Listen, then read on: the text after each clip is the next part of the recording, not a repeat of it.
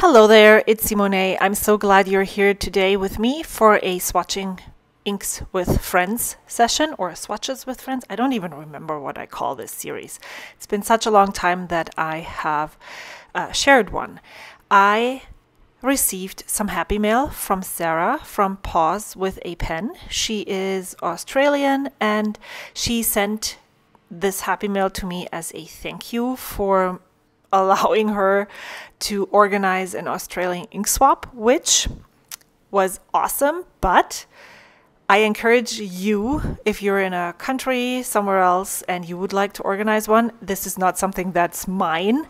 Um, go ahead and organize one. It's so much fun to do, and it's a lot of it's getting to know the people that are close to you and maybe getting some pen pals or even local friends that you can meet up with occasionally.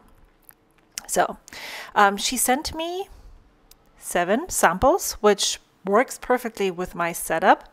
And I'm just going to swatch them all out. And then at the end, I'm going to compare them to swatches I have made previously, inks that I have in my stash already.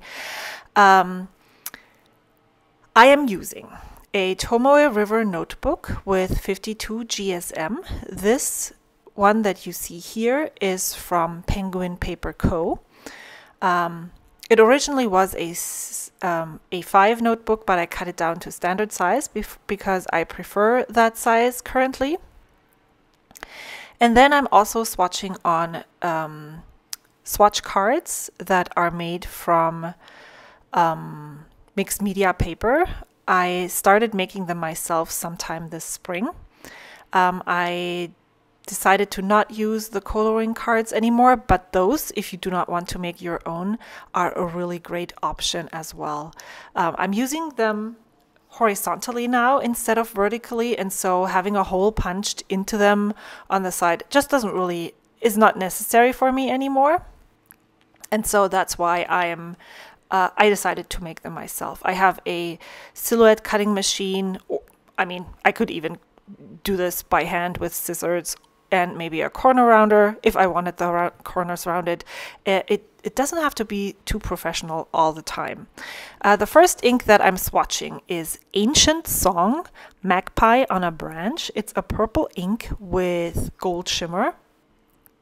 And um, I have never heard of the brand Ancient Song, and maybe I should have researched before I started the voiceover, but I didn't. So if you want to find out more about them and where they're from, then uh, I encourage you to use Google. I I think what I'm going to do is just put a little uh, link in the description box what about whatever I find uh, about them. I didn't I didn't even think uh, to research the company. Let me just write that down because that's going to be out of my mind in no in no time. Um, what else am I using? So I'm using cotton swabs to make these swatches. Um, there's various different ways you can do that. I have got a lot of them and decided that I will use all of them up um, before I reconsider the way that I am doing these swatches. And then I'm also using um, a Kakimori brass nib with a Tachikawa plus acrylic nib holder that I got from Vanness. I purposely decided against a wooden holder because I um, like to put this nib holder into water and uh, I just don't want to risk wood uh, getting too wet and soaking up and deforming basically for me. And so this is a good option for me. It's also super cheap. Um, the second ink that I swatched is Ancient Song by, again, Incense. It's a light teal color, also with gold shimmer. Um, and then the next one that I'm swatching right now that you can see me uh, working on is Robert Oster Purple Hippo. And I was a bit confused because this clearly is not purple to me. It's more of a reddish brown, brownish red. Um, there is some slight hints of purple um, pooling where the application is really heavy, but it does not appear as a purple to me at all. Um, the way that I'm swatching the inks is I'm trying to be very consistent with this so that I can compare these.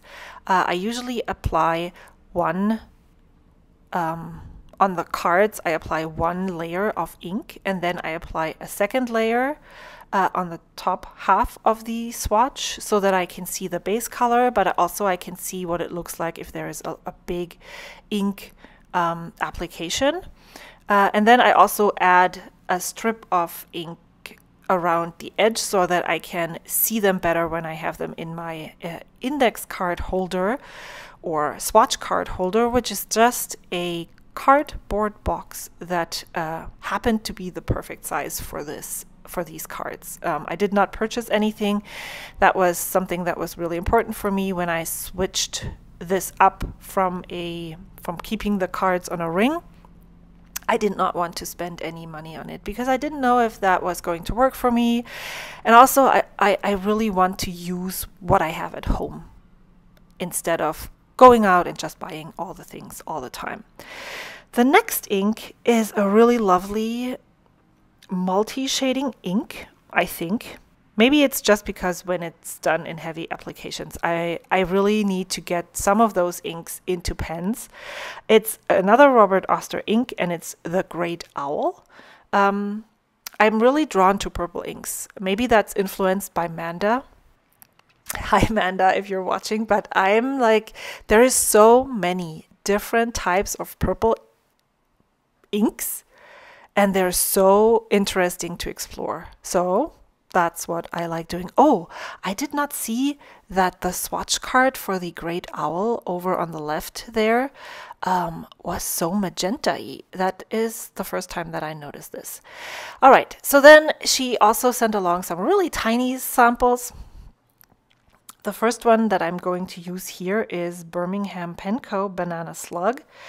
That's definitely color that is not for me. It's too light and it's too not really determinable what color it actually is in my opinion. It on this swatch that you see me making here, it looks I can't even say salmony no, that's too dark for salmon. It's not it, it, like it, it, looks like a sick salmon.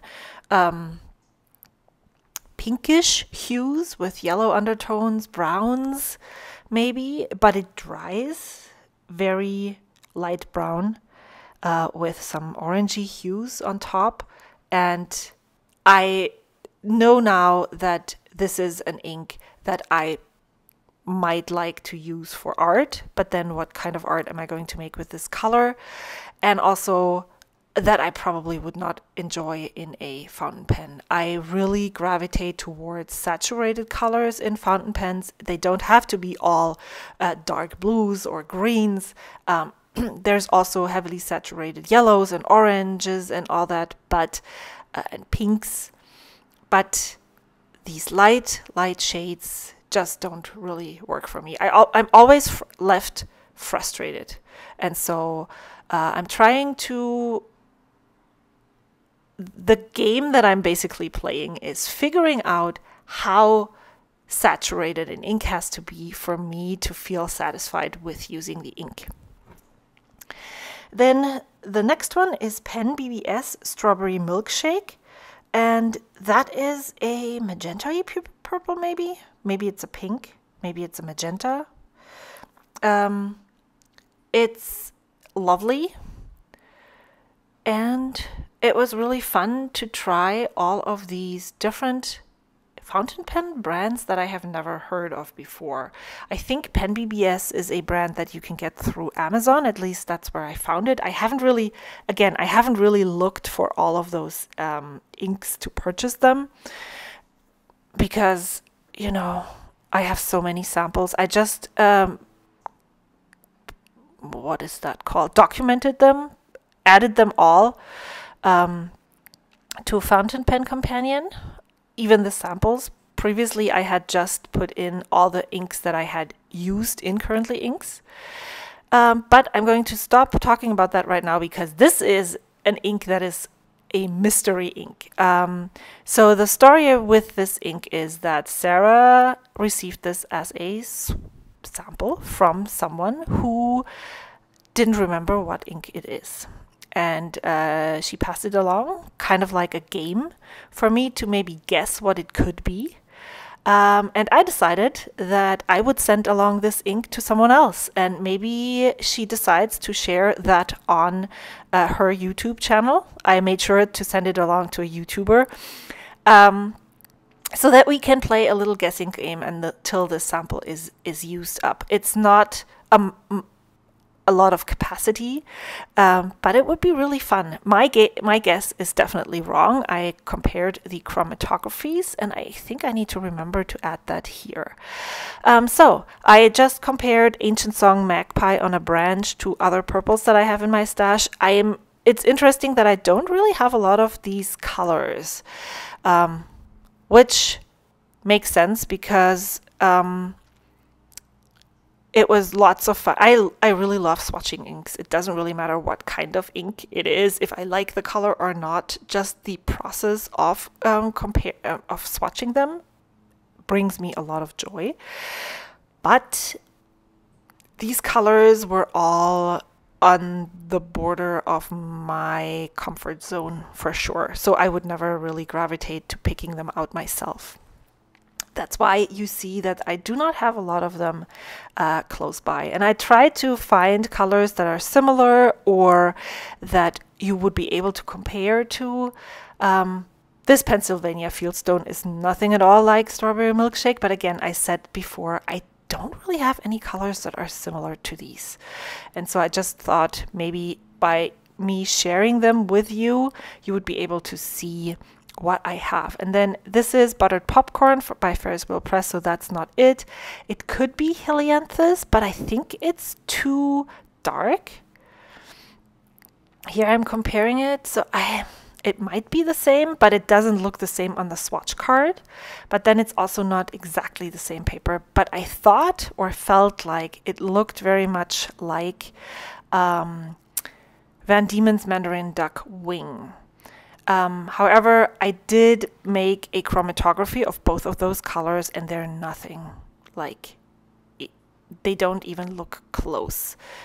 This was the very first time that I felt sorry that I had given away a sample that didn't work for me because I would have loved to compare the chromatographies. As you can clearly see, or not so clearly, the mystery ink has some orange pinkish hues that the Honeybee Eater Gin doesn't. And none of the yellow inks that I have in my stash compared to that chromatography. And as you compare the swatches on the bottles, there this is the mystery ink is just a a little darker.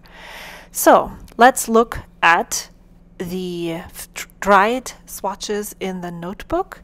Unfortunately, the shimmer, the gold shimmer, easily rubs off when I'm um, scrubbing my finger over it. You will see it in, in just a second.